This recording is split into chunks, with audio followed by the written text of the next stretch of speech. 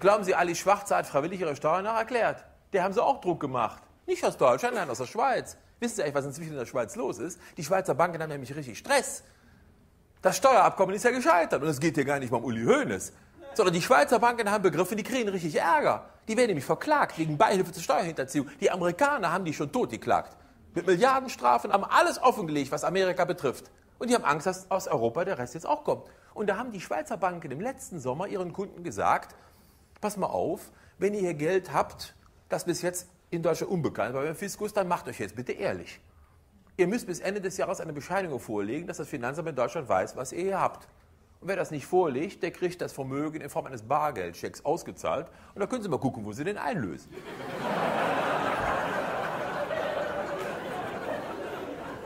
Und deshalb haben wir 60.000 Selbstanzeigen, meine Damen und Herren. Das hätte ihr doch niemals freiwillig gemacht, die Schwarzer. Die wir doch jetzt noch rum. Zehn Jahre hat sie nachgezahlt. Jetzt wären wir aber quitt, was wir jetzt eigentlich noch wollten. Wir sind nicht quitt, du Bildzeitungsnutte.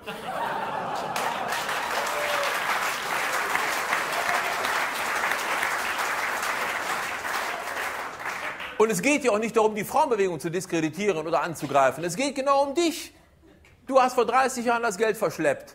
Damals hast du die Steuer nicht gezahlt, seitdem nicht. Das Geld, das uns da gefehlt hat, haben wir aufnehmen müssen. Dafür zahlen wir heute noch Zinsen. 30 Jahre hinterzogen, 10 Jahre nachgezahlt. Und dann sagen wir, sind doch quitt. Was ist denn das für eine Moralvorstellung, die sich hier eingeschlichen hat? Diese Leute, die immer sagen, ja, die Steuern sind aber auch so hoch, da muss man ja schon in die Schweiz. Ja klar, bei Karstadt ist so teuer, da muss man klauen, ne?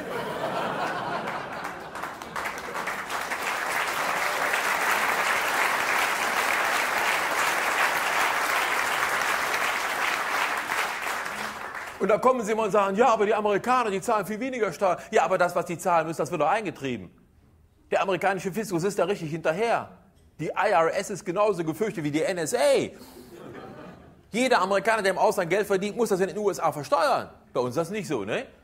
Nö, Vettel, Beckenbauer, die leben in Österreich oder in der Schweiz und zahlen keine Steuern hier. Schuhmacher auch, um den sie alle so große Sorgen machen.